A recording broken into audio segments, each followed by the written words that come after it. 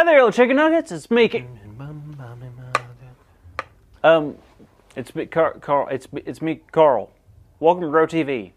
Welcome to Grow TV. Hosted by Carl. Where we have fun with our friends, talk about Jesus, and go over everything the Bible has to offer. Now, once again, welcome to Grow TV. Hi, Handy. Hey, Carl. How you doing? Fine. And you?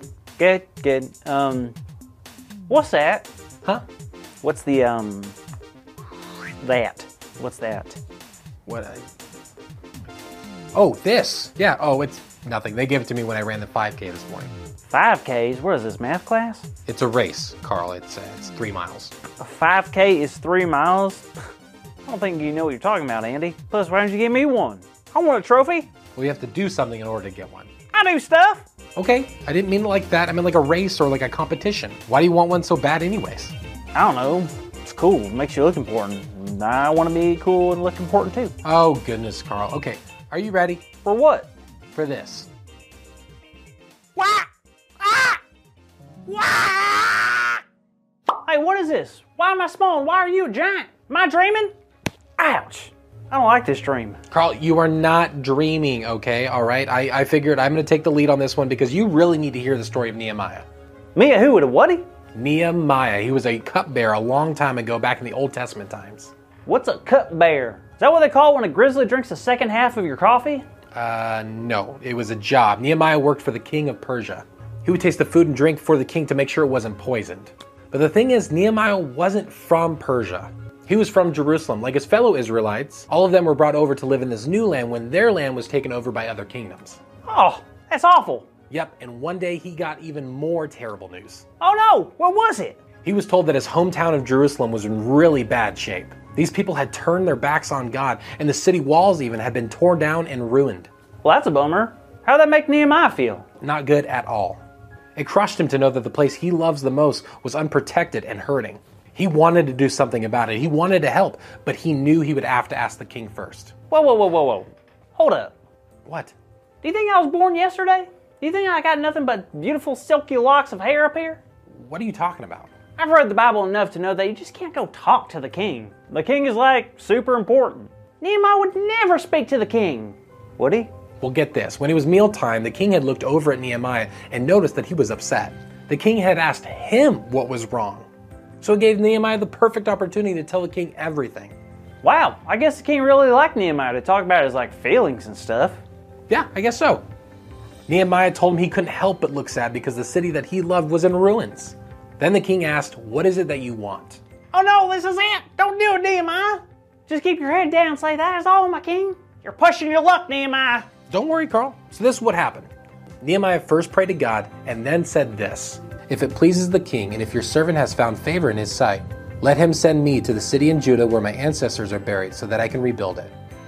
The king looked over at the queen, then back at Nehemiah and asked Nehemiah, How long do you think this is going to take?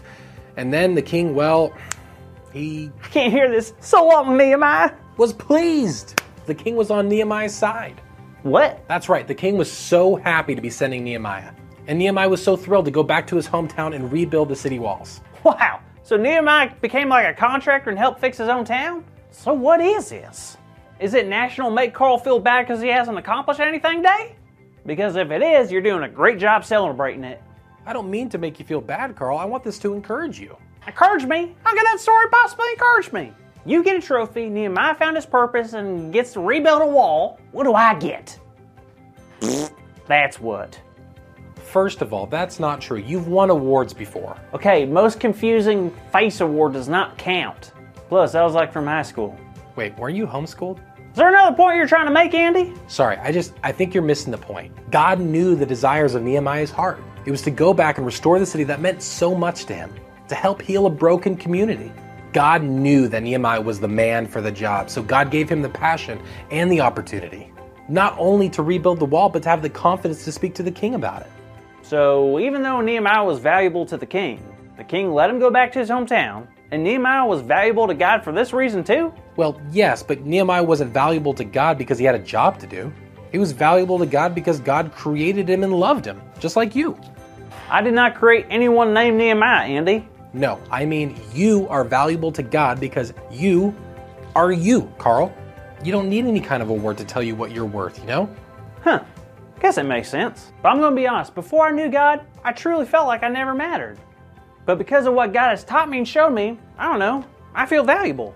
I'm starting to imagine what God had in mind for my gifts and personality. Like yesterday, my neighbor asked me to help organize his sweater collection. I was like, oh, wow, I really do have something to, to offer to others. And my mama told me how much she loves me, and I bet she loves people because God values and loves her too. That is so good to hear, Carl, and that's exactly what I hoped you would hear in the story. Yep, thanks for sharing. Can I hold your trophy now? Nope. Ah, bummer.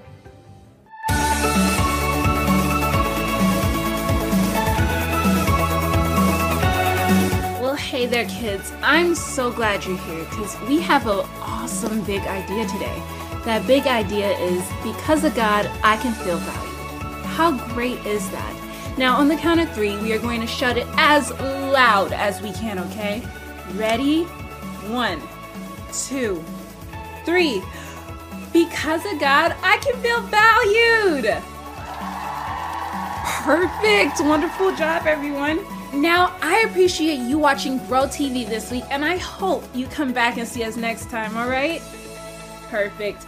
See you later. Thank you for watching and tune in next week for a new episode of